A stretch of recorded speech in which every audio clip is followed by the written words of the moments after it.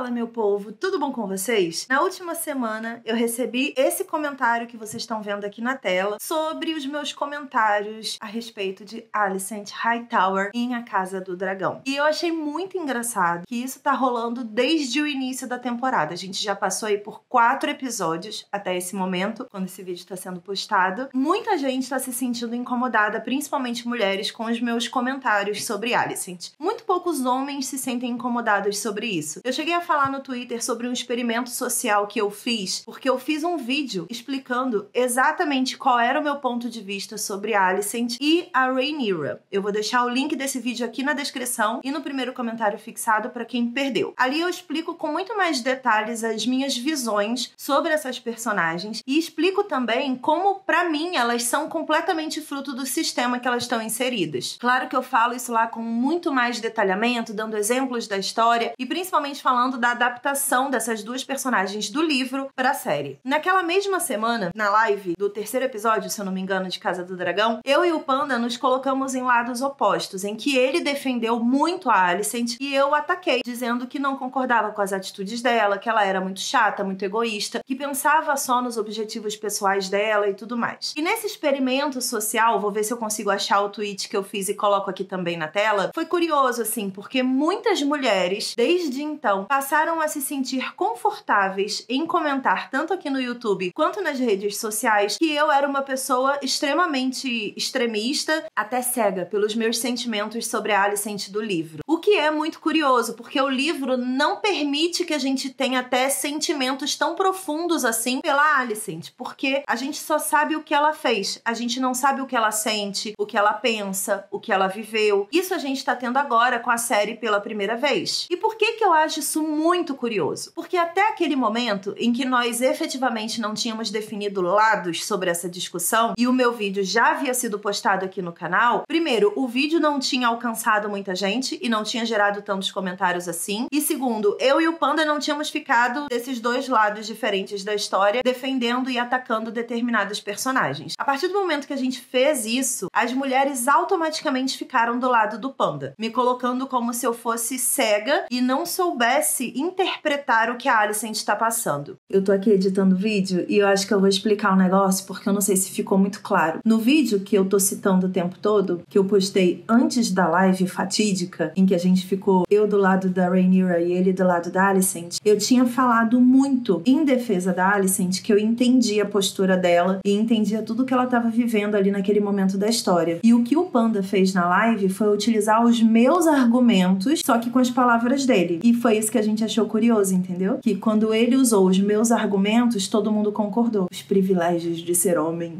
E isso me traz algumas conclusões pessoais, até sobre o nosso trabalho, não só sobre a história de Casa do Dragão, ou de Fogo e Sangue, ou de Game of Thrones, ou de qualquer outro conteúdo que tenha uma mulher vivendo e experimentando a vida do jeito que a Alicent está vivendo. Sobre o nosso trabalho, antes de mais nada, me traz a conclusão de que sim, a gente é, como mulher, o tempo todo muito mais julgada e colocada na caixinha da inconsequente do que os homens. A partir do momento que os meus argumentos foram questionados e os meus pensamentos e as minhas conclusões foram as únicas que geraram desconforto na mente de outras mulheres, principalmente, isso acabou empoderando essas pessoas para que elas comentassem e, e fizessem críticas diretas ao meu modo de pensar, como se eu não tivesse nenhum tipo de embasamento e todas as minhas conclusões viessem de um lugar extremamente emocional. Não existe na cabeça de algumas pessoas a menor possibilidade de eu ter argumentos plausíveis e racionais para não estar a favor de Alicent Hightower. É extremamente surreal como nós mulheres somos cobradas o tempo todo em sociedade para que a gente tenha atitudes ponderadas e racionais e coerentes, mas que todas as vezes que a gente se posiciona, que a gente fala, a gente decide realmente emitir a nossa opinião sobre determinado assunto, essa mesma opinião é invalidada pelo ponto de vista de outras pessoas, porque teoricamente a gente não sabe do que, que a gente tá falando. E olha que na live e no meu vídeo eu comentei bastante sobre a relação dessas duas personagens e a construção delas na sociedade. E eu chego a falar no meu primeiro vídeo, inclusive, que tanto Alicent quanto Rhaenyra são frutos do mesmo problema, do sistema patriarcal que tenta colocar duas mulheres em guerra para disfarçar qual é o real problema daquela história, qual é a real situação política daquela história. Elas duas são extremamente prejudicadas por tudo que elas vivem e tudo que elas são cobradas a fazer dentro da narrativa de Casa do Dragão e Fogo e Sangue. E eu achei isso muito curioso. E aí, tirando um pouquinho dessa parte da opinião e de como as pessoas reagem e lidam com a minha opinião constantemente aqui no canal, e é muito diferente, por exemplo, de, de um canal de uma youtuber mulher sozinha, porque eu crio conteúdo com meu marido, né? E o tempo todo a nossa opinião é colocada numa balança. Às vezes o Panda fala alguma coisa e as pessoas ficam. Ai, o Panda viajou muito nessa teoria, gente. Nossa, ele foi muito criativo, foi muito longe. Às vezes eu acho ele meio inconsequente e tal, mas risos, como o Panda é divertido. Se eu faço alguma coisa exatamente igual e sigo pelo mesmo caminho, a reação é completamente diferente. Ou dizem que eu tô surtada, ou dizem que eu tô emocionada e, repito, referências de palavras que eu tô usando nesse vídeo são referências reais de comentários reais. Ou dizem que eu sou surtada ou emocionada demais ou que eu tô criticando as coisas sem conhecimento, ou que eu tô inconsequente, ou como essa pessoa falou, eu estou contaminada pela Alicent do livro e eu fico querendo empurrar a goela abaixo que ela é uma pessoa ruim e blá blá blá. Em momento nenhum eu empurro que ela é uma pessoa ruim. Ela tem atitudes ruins. Eu acho muito importante a gente abrir esses parênteses de conversa por aqui, porque a gente tá falando novamente de uma história que tem dos dois lados mulheres com objetivos políticos diferentes e enfrentando situações complexas dentro daquela sociedade que torna elas completamente escravas de tradições e de responsabilidades que talvez elas não queiram viver. Eu sei que tem muita gente que lê o livro que critica muito, por exemplo, o desenvolvimento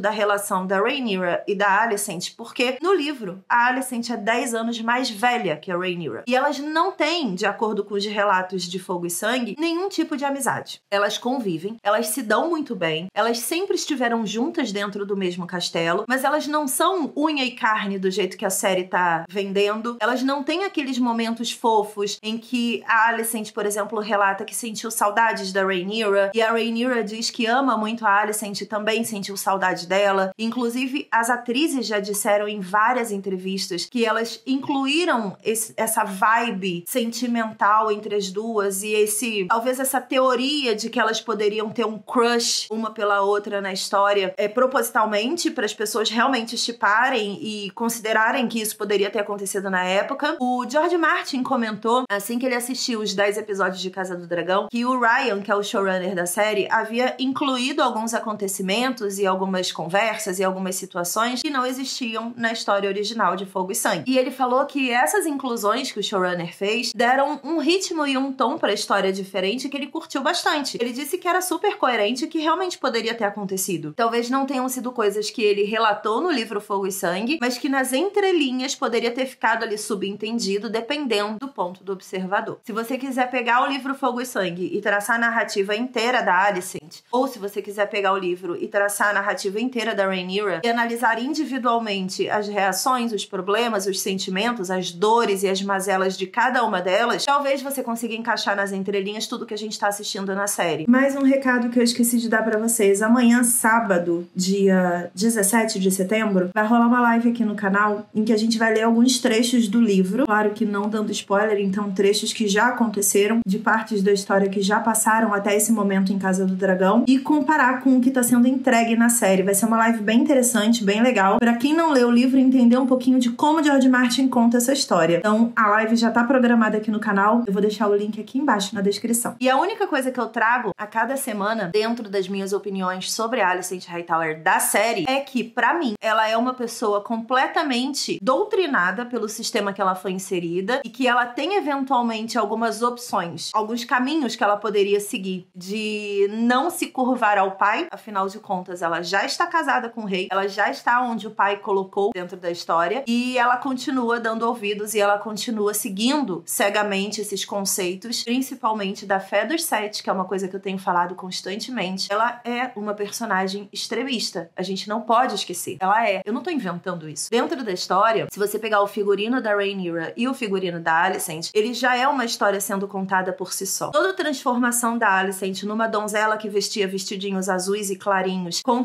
cabelo solto pelo castelo, e sendo ali a dama de companhia da Rhaenyra, cobrando postura, cobrando posicionamento, cobrando opinião, ela fala isso pra Rhaenyra o tempo todo. Você precisa querer mais. Você precisa ser ambiciosa, você precisa se posicionar. E a Rhaenyra não queria nada disso. No momento que ela tem essa oportunidade, ela faz o que ela recomendava para Rhaenyra, porque ela pensa assim, independente da fé dos sete e independente do seu próprio pai. Ela enxerga oportunidades aonde, teoricamente, ela não teria oportunidades. Isso é uma coisa ruim? Não. O problema é a intenção em que você lida com esse jeito de ser. Ela começa com uma intenção teoricamente muito boa, tanto que a série tá fazendo essa transição muito bem. A cada três comentários sobre a Rhaenyra, um é extremamente tóxico e dois são positivos, porque a transição tá acontecendo. Quando eu digo que ela é uma cobra disfarçada, é porque o meu sentimento com a personagem da série. E ela realmente tá se mostrando assim. Quando ela chegar no ponto que o livro Fogo Sangue entrega, que é ponto de guerra, ponto político, ponto de discussão, de batalha, de questionamento de trono, de posicionamento como rainha, como rei, no momento que ela começar a cobrar, por exemplo, determinadas atitudes daquela corte inteira, não só da Rhaenyra, aí a gente vai ter talvez os relatos do livro Fogo e Sangue. Mas até lá é construção de personagem. E baseado 100% na série, baseado 100% no que eu sei que ela é capaz de fazer, olhando o retroativo do que o showrunner está nos entregando, eu posso te dizer que a minha opinião é inabalável. Ela é uma cobra em transformação e o que a gente está vendo agora é uma grande introdução para o que a Alicent um dia vai fazer dentro da narrativa da casa Targaryen. Independente do que o showrunner for mostrar, o destino é um só. E a gente sabe, a casa Targaryen em decadência, a morte de todos os dragões. Essa guerra, todo mundo sabe aonde vai dar. Eu não tô inventando a roda aqui. Mas eu acho de novo muito curioso que esse tipo de comentário chegue sempre muito direcionado para mim. E esse vídeo não é um vitimismo.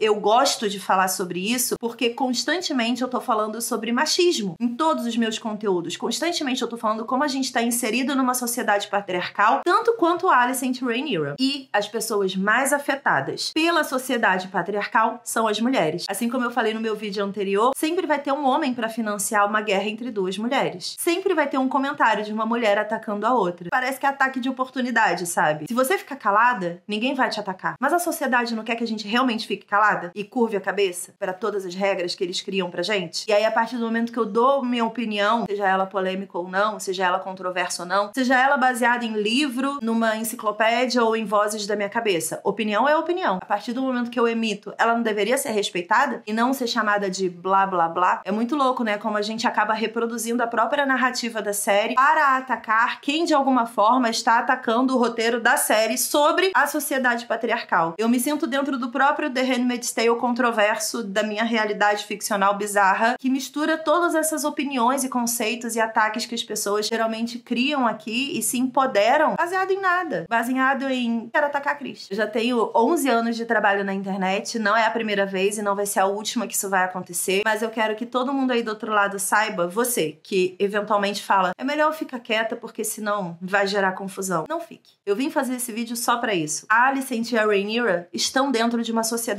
patriarcal. Elas estão sendo manipuladas pela sociedade que elas vivem e elas vão entrar em guerra. Uma contra a outra, contra a sociedade no fim das contas, mas elas vão perder. As duas vão perder dentro dessa história. Não só a vida, mas em argumentos também, porque a gente conhece Game of Thrones e a gente sabe o que acontece depois. Então a gente sabe que elas vão perder independente de qualquer coisa, mas elas não perderam a oportunidade de falar o que pensavam e de lutar pelo que acreditavam. Então se tem uma mensagem que eu posso deixar para vocês é, mesmo que digam que todos os seus argumentos são um, uma grande reunião de blá blá blá, não deixe de emitir o seu blá blá blá, porque ele é seu e ele vale muito. E se você quiser emitir o seu blá blá blá aqui nos comentários, nem que seja me atacando, saiba que eu vou ler e eu vou entender que ele é só a sua opinião baseada nas experiências da sua vida. Eu não vou te odiar por isso, eu não vou te criticar por isso, mas eu vou questionar de onde vem e para onde vai. Qual é o objetivo do que você falou? O que, que você esperava com o que você disse para mim? Você esperava me ofender? Você esperava me deixar feliz? Você esperava me atacar? Você esperava corroborar com o que eu tava falando? Eu sempre vou querer entender vocês, porque faz parte do meu trabalho isso também. Obrigada por ter assistido esse desabafo até o final. Eu acho que é importante a gente trazer esse tipo de discussão o tempo todo, porque não só como criadora de conteúdo, mas como pessoas, nós estamos todos em constante evolução. E para evoluir, a gente não pode ficar sozinho. Obrigada por sempre comentarem aqui nos nossos vídeos, nas nossas lives, por trazerem corajosamente a opinião de vocês sempre sobre tudo que a gente fala. Beijos